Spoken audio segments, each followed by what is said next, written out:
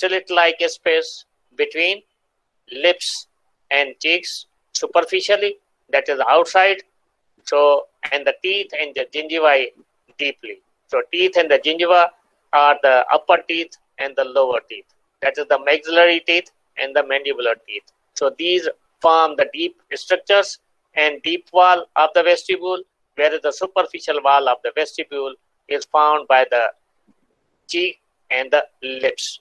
And these cheeks and the lips, as we have already discussed, the orbicularis oris and the buccinator muscle, these are going to form the oral part and the cheek part, which forms the superficial layer of the vestibule.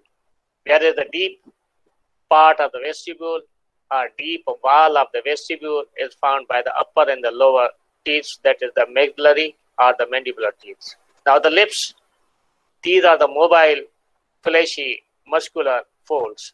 As we know that the muscles of the lips, they are found by the orbicularis oculi and the remaining muscles which either elevate or depress the lips. These are going to constitute the mass of the lips. So the lips, they are constituted by the muscular parts of the orbicularis oris and associated muscles. It is covered inside by the mucous membrane and outside by the skin.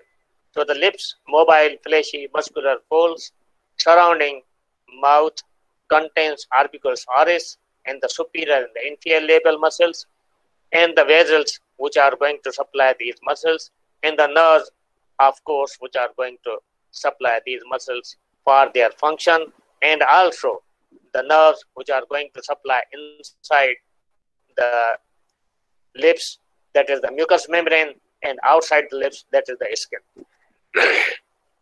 the lips are covered externally by the skin and internally by the mucous membrane. Now, the upper lip has a vertical groove in the median plane or midline, and this is the philtrum. So, you can see from here this is the philtrum, which is in the midline, extending from the root of the nose up to the lip, that is the margin of the lip. So this is the philtrum, which is the median depression or vertical groove. There is the two portions, that is the medial, uh, two lateral, that is right and the left portions of the upper lip. Now, as the skin of the lips approaches the mouth, it changes its color abruptly and it becomes red margin of the lip. And this red margin of the lip is named as the vermilion border. So the vermilion border is where the red margin of the lip and the skin, they are continuous with each other. Now this is the transitional zone because inside is the mucous membrane and outside is the skin and in between them is the red margin and this is the transitional zone between the skin and the mucous membrane. The skin of the transitional zone is hairless, no hairs at all, and thin, and it appears red because of underlying capillary bed, which are highly, very vascularized capillary bed, which is lying inside, and that's why it is the vermilion border is red in color. Upper lip is supplied by the superior labial branches of the facial artery and infraorbital artery, whereas the lower lip is supplied by the labial branches of the facial and the mental arteries. So the two arteries in the upper limb and two arteries in the lower lip, they are going to supply the lips. Now the upper lip is supplied by the superior labial branches of the infraorbital nerves, that is the cranial nerve 2, the branches of the cranial nerve 2, that is the maxillary division of the trigeminal nerve whereas the lower lip of the is supplied by the inferior labial branches and of the mental nerves. And again, these branches belong to the mandibular division of the trigeminal nerve, that the cranial nerve, we are 5 3.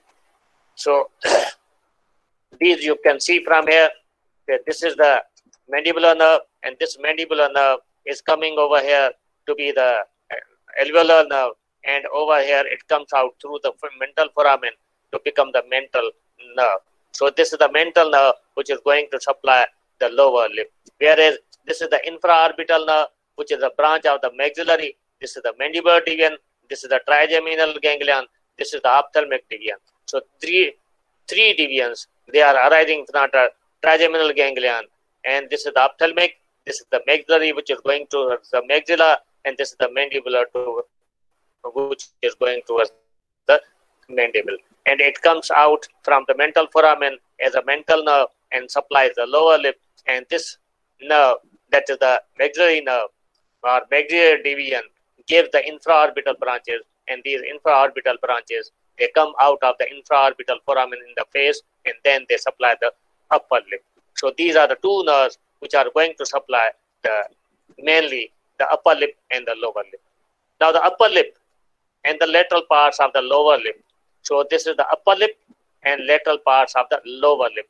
These are drained their lymphatics towards the submandibular lymph node. Now this is the submandibular group of the lymph nodes which is lying at the angle of the mandible and this is the lateral and upper parts of the upper lip and the lateral parts of the lower lip. These are drained into the submandibular glands.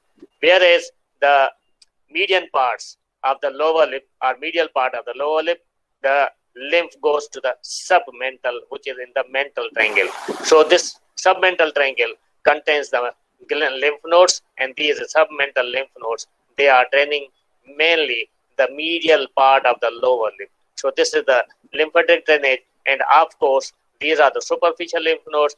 They will drain into the deep cervical lymph nodes, and those are lying along with the internal jugular vein. Now, the cheeks, which are mainly formed by the buccal muscle, so the cheeks are the buccae, include lateral distensible walls of the oral cavity and the facial prominences over the zygomatic. Now, this is the zygomatic bone and the facial prominence over this, and the lateral part of the cheeks. These are the parts which are forming the cheek. So these cheeks have same structure as the lips because they are also having the muscle as well as they are very richly supplied by the vessels. So with which they are continuous. Now they, these are the, lips and they have got the same structure that the muscle, mucous membrane inside and skin outside. So cheeks, they have got the skin outside and the mucous membrane inside. And these are called the buccae. So the principal muscle of the cheek is the buccinator. So this is how the cheeks they are formed. So the lips and the cheeks they have got the common that is the mucous membrane inside and skin outside and in between these two the muscles. The lips and the cheeks function as the sphincter that pushes the foot from the oral vestibule into the oral cavity proper. Now you can see from this diagram that this is the cheek muscle, that is the buccinator muscle. These are the teeth which are going to be the maxillary teeth and these are the mandibular teeth. Now in between, these are going to form the medial part, whereas this is going to form the outer part or superficial part and they are going to form the deep part and in between them this is the gap, which is the slit, and this slit is the vestibule. So the oral vestibule is the slit in between the buccinator muscle and the lips, and uh, superficially and deeply, it is the alveolar arches. That is the maxillary alveolar arch, dental uh, maxillary alveolar arch, and the uh, Uh, mandibular alveolar arch. And inside is the oral cavity proper, which contains the tongue. So this is the tongue, which is lying in the oral cavity proper. Its floor is formed by the mylohyoid muscle. So this is the mylohyoid muscle of the right side. It has got the raphe over here and it is going to meet with the opposite side. So this is the tongue which is resting onto the floor of the mouth and that floor of the mouth is mainly formed by the mylohyoid muscle. It is also assisted by other muscles we will discuss. Now, the lips and the cheek function as the sphincter that pushes the foot. Now, this foot, which is lying in between the teeth and cheeks. Now, when this muscle, buccinator muscle, contracts, the foot in between the teeth is pushed inside the oral cavity. It does not con- uh, rest in the vestibule. So, by the contraction of the buccinator muscle, the foot is pushed in between the teeth and teeth they crush and then they pass to the oral cavity. So this is the function that the buccinator muscle is going to assist in the chewing of the food. Now the tongue and the buccinator work together. Now this tongue muscle is the propelling, rolling the bolus or food which has come into the oral cavity. It pushes the bolus, forms the bolus and shapes the bolus and pushes the bolus backwards into the oropharynx. And the buccinator muscle that pushes the food which is in between the teeth and the or which is in the vestibule. So the food in the vestibule is pushed towards the oral cavity proper.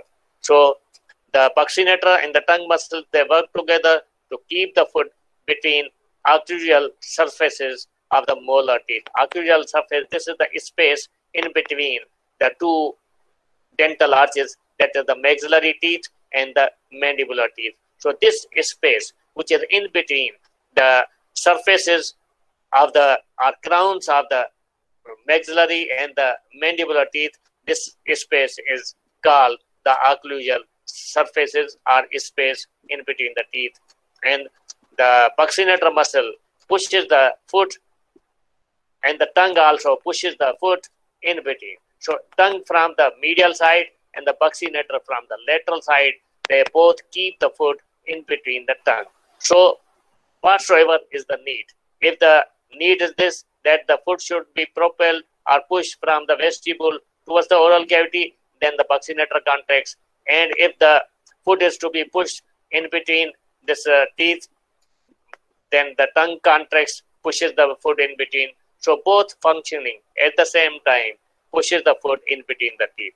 So this is the function of the tongue muscle and the buccinator muscle.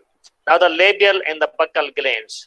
Now labial glands, they are lying with the lips, along with the lips, and the buccal glands lying along the buccinator muscle. So these glands, which are the smaller glands, they secrete the saliva inside and the mucus, and this is mixed with the food. So the buccal and the labial glands are small mucus glands between the mucous membrane and the underlying orbicularis oris muscle and the buccinator muscles. So the glands they lie towards the inside of the buccinator muscle and the lips. And they are in between the mucous membrane and the muscles of the lip and the cheeks. So they are towards the inside. So deeply placed